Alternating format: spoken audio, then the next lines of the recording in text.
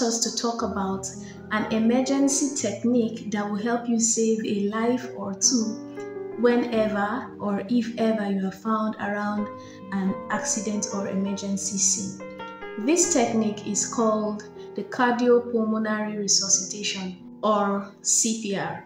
My name is Nurse Veronica Obi.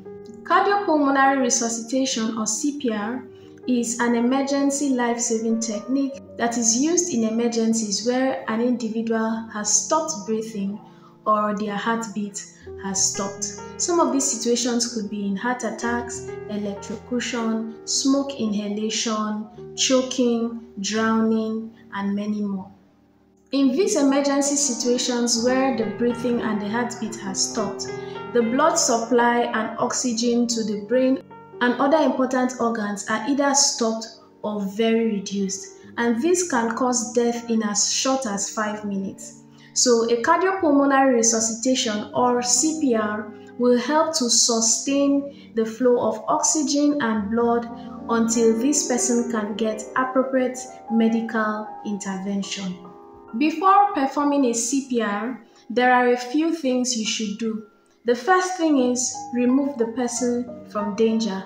For example, if it's in a car crash, remove the person from the car out into a safe space. Remove tight clothing around the person's neck and chest. Check to see if the person is conscious or unconscious. If the person looks unconscious, tap the person on the shoulder and ask, Are you okay? If the person does not respond, call for help. Place your hand over the person's nose or your chin to feel if air is coming out from the nose.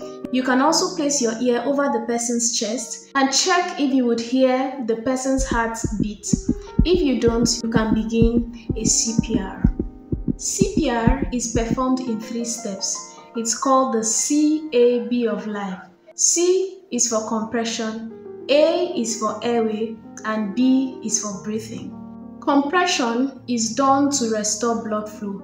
This is the most important aspect of the CPR. It is done by placing your hand over the person's chest and pushing down. The steps for compression are first, lie the person on their back on a firm and flat surface, preferably on the floor or on a table. Kneel next to the person's neck and shoulders. With one hand, Place the heel of your palm in the center of the person's chest. Place your other hand on top of it, interlock the fingers, and make sure that your elbows are straight. Press down on the chest at least 2 inches. Use your entire body weight in doing so and not just your arms. Push hard at a rate of 100 to 120 times in a minute. If you are not a trained first aider, continue chest compressions until emergency medical aid arrives or you get to the hospital. And if you're a trained first aider, you can go on to open the airway and give rescue breaths. The next step after compressions is to open the airway. This is done by a maneuver called the head tilt chin lift maneuver. You put your palm on the person's forehead and gently tilt backwards. And then you use your other hand to lift the chin up just a little bit to open the airway. The next step is breathing. This is to help the person breathe. The breathing can be done either by mouth to mouth or mouth to nose breathing. This is when the person has serious injuries on their mouth or the mouth cannot be opened. After opening the airway, you pinch the nostrils shut. This is for mouth to mouth breathing and then use your own mouth to cover the person's mouth, making a seal. Breathe into the person's mouth for about one second and check to see if the chest rises. If the chest rises, give a second breath. If the chest does not rise, repeat the head tilt chin lift maneuver before you give the second breath. Resume the chest compressions to restore blood flow Continue CPR until signs of movement are seen or emergency medical help arrives. 30 chest compressions and 2 breaths are considered one cycle, and you should be careful not to breathe forcefully into the person's mouth. Performing CPR for children more than one year is essentially the same as adults, except that you may use one hand if the child is small and the compressions are less harder than in adults to avoid fracturing the breastbone. For children less than one year of age, a cardiac arrest is usually due to choking, and if you are aware that there is something blocking the child's airway, you perform first aid for choking. If there is nothing blocking the airway, you continue to do CPR. These are the steps to perform CPR for a child less than one year of age. The first thing is to touch the baby to see if there's any response such as movement. Do not shake the baby.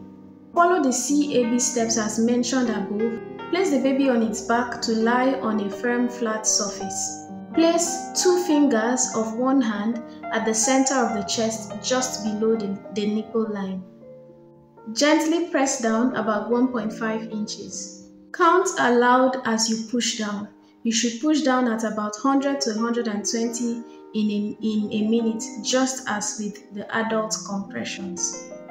After 30 compressions, do the head tilt chin lift maneuver.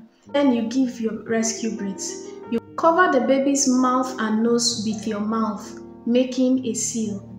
Slowly breathe into the baby's mouth for one second. Watch to see if the baby's chest rises. If it does, give the second breath. If it doesn't, do the head tilt chin lift maneuver again before giving the second breath. If the baby's chest still doesn't rise, continue with the chest compressions. Give two breaths after every 30 compressions. Continue the CPR until you see signs of movement or an emergency medical team arrives. Remember, if you're a trained first aider, you give 30 chest compressions and 2 breaths for one cycle. If you are not a trained first aider, you should just continue with only chest compressions and do not attempt to give rescue breaths. Till next time, bye bye.